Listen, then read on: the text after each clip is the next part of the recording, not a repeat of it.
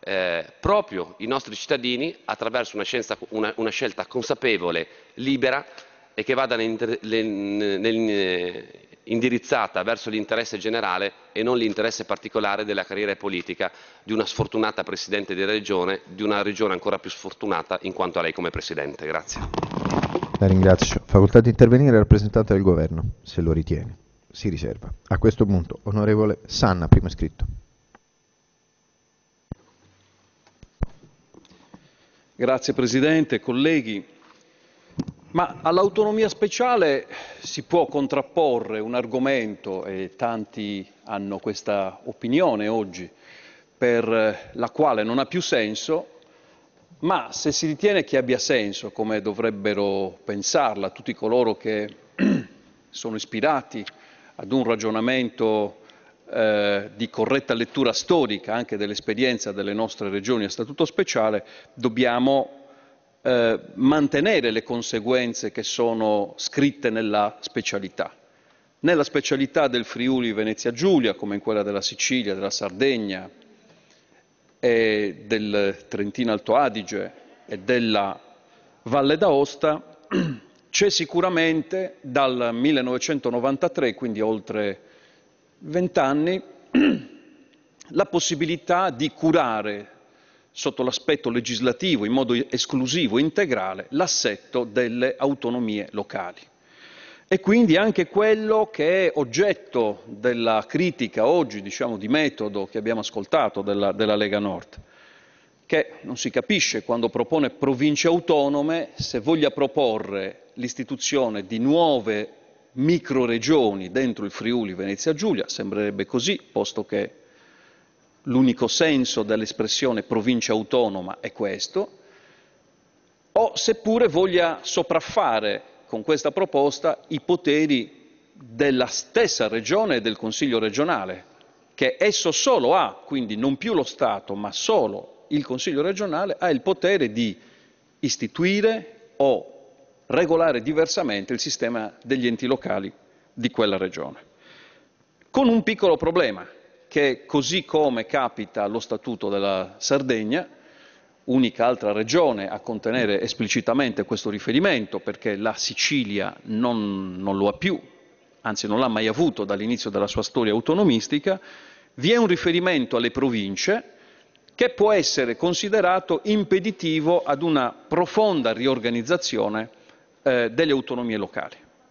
A livello nazionale stiamo dicendo che questa operazione la vogliamo fare, ridando, rifacendo partire i poteri delle autonomie locali secondo il principio di sussidiarietà dal basso e quindi reinvestendo sui comuni, reinvestendo sulla regione e tutto quello che c'è tra i comuni e la regione va redistribuito secondo un'accurata, un'accurata applicazione del principio non solo di sussidiarietà ma anche di adeguatezza. Colloco la funzione dove è meglio collocarla. È una funzione che può essere svolta da un comune? La colloco presso i comuni. È una funzione di programmazione generale della regione? La colloco presso la regione. È una funzione di area vasta? Devo organizzare un sistema di gestione delle funzioni di area vasta, quello che sta facendo il Friuli. Ma io qui, nell'Aula del Parlamento italiano, non devo parlare di che cosa sta facendo il Consiglio regionale del Friuli, non perché non mi interessi, ma perché sono profondamente rispettoso del potere che si esprime in quell'assemblea legislativa, che ha la stessa dignità di tutte le altre assemblee legislative delle regioni. E allora mi fermo a quello che propone il Consiglio regionale del Friuli e scopro che è tutto molto sensato. Il Friuli Venezia Giulia. Omaggio agli amici di Trieste che non devono essere dimenticati mai durante l'esposizione completa appunto del nome della regione. E quindi che cosa dice questo disegno di legge costituzionale? Sopprime le province, ma richiama implicitamente un potere forte del Consiglio regionale di riorganizzazione del sistema delle autonomie locali. Abbassa da 25 a 18 anni l'elettorato passivo per, entrare, per potersi candidare nel Consiglio regionale.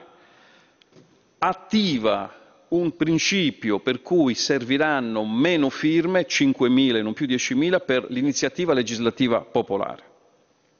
Questa potrebbe essere per il Friuli Venezia Giulia l'ultima delle revisioni dello Statuto, anzi io auspico che lo sia, eh, fatta col sistema che stiamo applicando, l'articolo 138 della Costituzione e le disposizioni dello Statuto, perché con la riforma una revisione complessiva dei poteri delle regioni speciali passerà certamente attraverso una lettura finale del Parlamento, ma sulla base delle intese tra la Regione e lo Stato, quindi le regioni autonome e il governo italiano, con tutti gli strumenti di partecipazione del eh, Parlamento che seguirà la fase negoziale pattizia. Dico pattizia dicendo, sapendo cosa voglio dire e insistendo su questa espressione perché c'è lì la possibilità di intrecciare la sorte e il futuro rinnovato della specialità delle nostre regioni, di quella del Friuli Venezia Giulia,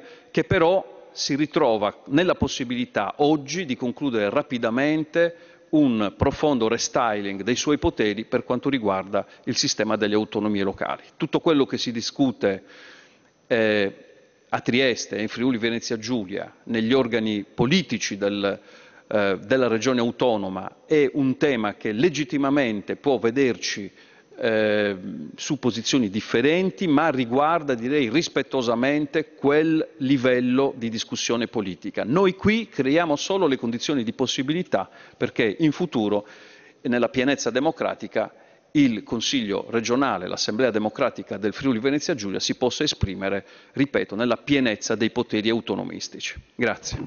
La ringrazio, onorevole Sandra Savino. Grazie Presidente, io consegnerò l'intervento ma vorrei solo fare alcune precisazioni. Eh, rispetto alle parole dell'onorevole Sanna, eh, se la modifica eh, dell'architettura istituzionale deve partire dal basso, Ricordo che eh, la politica regionale a Guida Serracchiani ha delegato questo nelle aule dei tribunali. Tant'è che su 219 comuni della regione Friuli Venezia Giulia, quasi 60 comuni hanno fatto ricorso contro eh, la costituzione delle unioni territoriali intercomunali. Quindi credo che eh, l'aver eh, dire, eh, dato eh, mandato ai tribunali di risolvere eh, questioni che in realtà corrispondono e devono corrispondere alla eh, politica sia un segnale che in realtà tanto dal basso questa, questa riforma non passa. Quindi eh, se vogliamo fare un esercizio di democrazia all'interno della Regione Friuli Giulia, bene farebbe la Presidente ad ascoltare puntualmente quelli che sono eh, i soggetti maggiormente vicini al territorio proprio nella loro